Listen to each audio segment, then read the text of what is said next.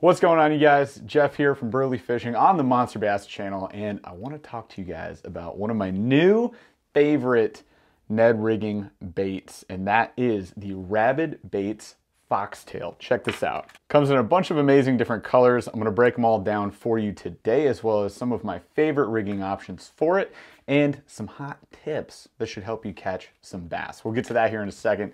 If this is your first time stopping by the Monster Bass channel, be sure to subscribe. There's tons of tips on here. There's some great content creators featured on this channel, and there's more fun stuff coming your way, as well as previews of upcoming boxes and all that good stuff. So be sure to stick around. Maybe smash the like on this video, ring that notification bell so you can see when those other videos drop.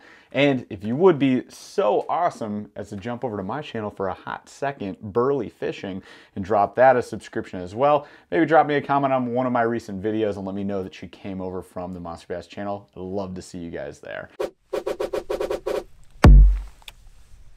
So for those of you who aren't familiar with Ned rigging, Ned rigging is a very simple concept, very simple technique to catching bass, and it's freaking deadly. There is a reason that we call it the Deadly Nedley. All you need to do is grab a jig head. Really, any type jig head's fine. We prefer mushroom headed jigs because they sit like this on the bottom.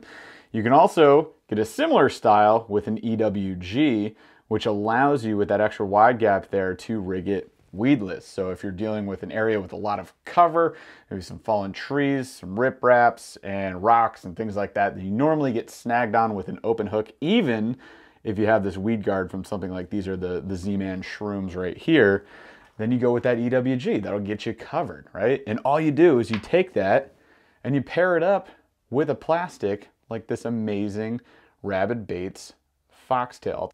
And what you're gonna end up with is just a simple plastic jig combo that's gonna sit flat on the bottom like this, and you honestly don't even need to do anything at that point. So we're just gonna drop this bait into some key areas where we find bass and just let it sit there. We can dead stick it and kind of hop it on the bottom like you would a shaky head. We can lift it and let it fall. We can swing it back to the boat. We can do all sorts of things. You can even swim this thing just like this all the way back to the boat. It just does a pretty dang good job of representing like a dying, wounded, feeding, bait fish. So it's good in so many different scenarios. This is one of those baits when used at the right time in the right place is gonna yield you like 30, 40, 50 fish. You're gonna crush it.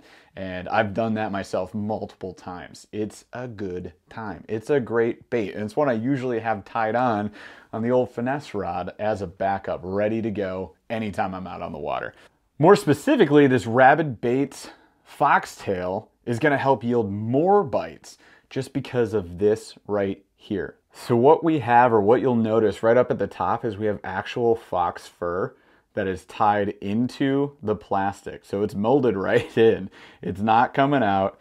It's gonna be fairly durable up there and it provides an insane action that plastics cannot mimic. You just can't, you can't beat that. And it looks even better in the water. So I'm gonna show you guys that here in just a second. Before I do, real quick, I wanna show you all the colors that this thing comes in and what we typically rig it with. So I'm gonna give you some suggestions there. When you buy this bait from Rabid Bait's website, you're gonna see that they have about 10 different colors. I've got seven here that I can share with you guys.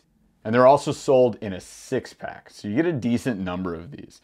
So here we have like this green pumpkin with this like chartreuse fur tail. Look at that that stuff. This is actually one of my favorite colors right here. My second favorite is actually this one right here. This is called Ghost. So it comes with this white. I've used this one a bit. That's why it looks kind of funky. but you got like the white fur up there. Look at the color though. That like almost electric shiner flake gives you that, that flash, right? Looks good. And then the plastic is pretty clear. Love that color. Great finessey color. We got the, the ruby red here with that nice red tail some red flake in the plastic. Got like some gray to the tail on this one with some gold flake, gold and black flake in there. Look at that. More of a brownish plastic. We got the, the dark green with some gold dust in there. Look at that. A little added flash to that one. Looks good. We got the black and green pumpkin. So some black flake in there, black fur tail, and the green pumpkin plastic. And we got the one we're gonna toss in the tank. I really like this one too. So this is like more of an orange and red flake in the plastic with, look at this tail, it's got like highlights on the tip. This is the most fox-like looking one that I would choose maybe from the pack. And I've got this one paired up. This is the one we're gonna test in the tank here. I've got this paired up with a 1 6 ounce Woo Tungsten Ned rig head. When rigging these things, there's a couple things you need to know. Rabid Baits plastics are a softer plastic, which means they're less durable. So the thing to keep in mind with this is that it's a finesse bait. Treat it as such. This is not a Z-Man plastic. However, it has a ton more action than a Z-Man plastic is gonna have. It can still last you for several fish, no problem, if you rig it right. So these I prefer to have rigged up on lighter wire Ned heads. If I'm getting Woo Tungsten, for example, I'm going like one aught, maybe smaller uh, size hook. So light wire hook, it's not gonna beat up the plastic as much when you're threading it on, and it'll stay on for much longer. Also keep in mind as you're fishing this thing that you wanna be subtly aggressive. You can't be overly aggressive. So I wouldn't fish this the same as if I had a Z-Man plastic on this here EWG Ned because I can beat the crap out of that. That is something where I'll throw it into any cover, I'll bounce it around, I'll hop it over logs and rocks and not worry about it. With the Rabid Baits Ned, I'm gonna toss that in front of like weed lines. I'm gonna use it when I'm bed fishing. It's a bait that's really gonna excel when you're dead sticking and maybe doing like little baby hops. Subtle movements are going to excel with this bait.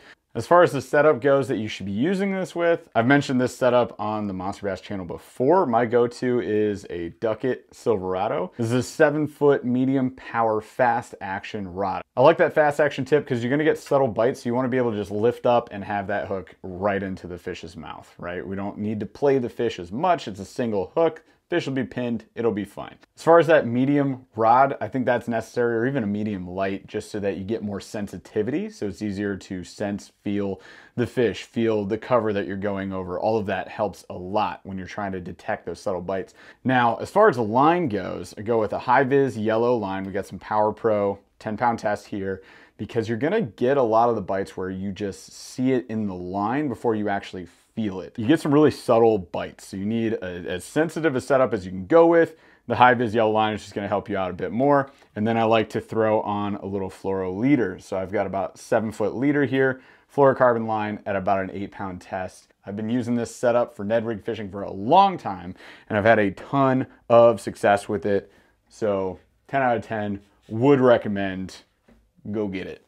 All right, to wrap this up, let's take these foxtails, put them underwater. You'll see the amazing action. I think you'll agree. It's a pretty fantastic Ned rig bait. Boom. Look at that fox fur. I'm not doing anything. There's no aerator in here. There's no current. Now imagine you drop this, like I said, it excels in open water conditions.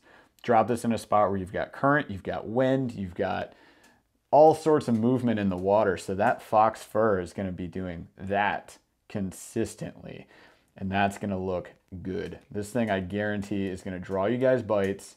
It's gonna look good. You can optionally drop shot this, right? Throw it with a tube style weight and rig it. You can rig this weedless on a tiny, like a one aught small EWG. You could use Daiichi standout drop shot hooks. I think you can rig it up really well with that and you can go weedless. You can get into tough cover and it's gonna look good. But just look at, even just here, Ned rigged. This is such a unique, amazing plastic. You guys need to try this out. All right, you guys, so that is the Rabid Baits Foxtail. If you're getting your Monster Bass box this month for the month of December, you might see that in there. So stay tuned. Be a subscriber. Go to monsterbass.com, get your subscription. Type in this code, all caps, save 10 and you get 10 bucks off your first box. Go for the regional box. I think they're pretty phenomenal. It's kind of what we do the best. So check it out, enjoy it. Let me know what you think. Thanks for watching today. Thanks for being on the Monster Bass channel. If you like this kind of content, be sure to subscribe for more. Smash the like on this video, ring that notification bell, and of course, if you want more reviews, unboxings, and different stuff, you can hop over to my channel. So subscribe to my channel for more content like that. Appreciate you very much. Would love to see you over there. And drop me a comment. Let me know if you came from the Monster Bass channel. You guys have been awesome as always, so just stay tuned for our next video with more tips and tricks from awesome creators on this channel. We'll see you guys out on the water.